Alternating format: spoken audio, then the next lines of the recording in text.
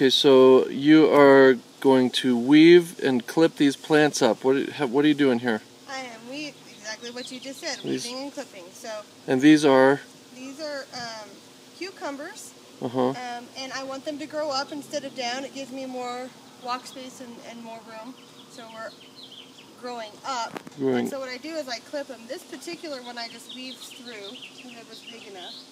But as you can see here, this one I just clipped, which probably in a couple of days it'll latch on with these guys. These things will. So show me the clips that you have. These are my clips. And aside from uh, Grandma, where do you get these from? Um, you can order them online. I don't know. Grandma got them for me. so um, Um, we'll find out where. Yeah, and so you can um, use them just to clip on. They make it easy because as they get taller, you can take them off the bottom and then clip up, which is what I'm going to do exactly that right here. I have one here. You're going to have to stop videoing because there's a squash bug and I'm going to kill it. It's No, no, kill it. Kill it. Oh, it's on the other side. I need my cup. Hang on. All right, so we've been fighting the battle against squash bugs. Where's my cup? And they're absolutely, absolutely irritating. And they killed another plant this morning. So we're gonna start pulling plants. Ooh, do you hear that thunder? Okay, so here's three squash bugs in my cucumbers. I can't hardly believe that. Oh my gosh, more than three, Greg. Uh-oh. Just one up underneath here. Okay, so we're gonna have to spray those too.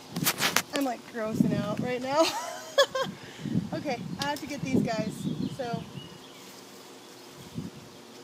oh honey, they're infested. Over here.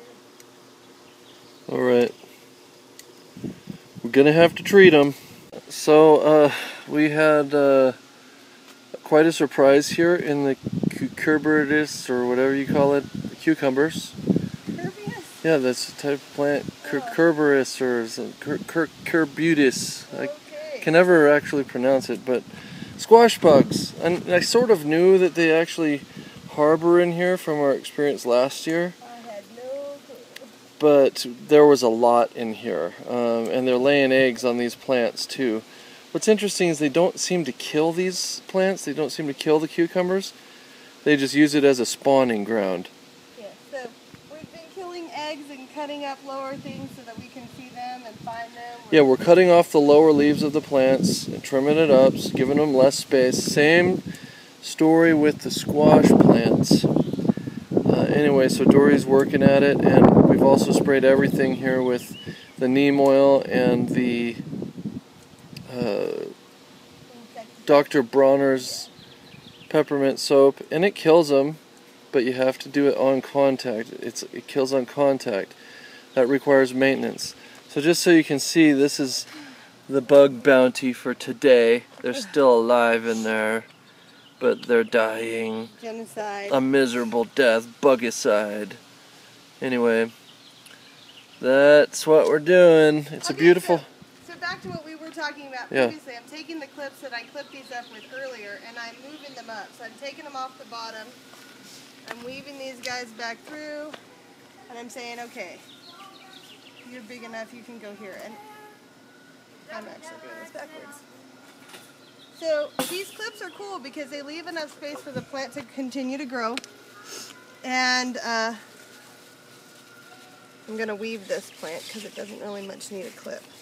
Can use its leaves to kind of help it go up. All right. That's it. So that's what we were doing before we got Invaded.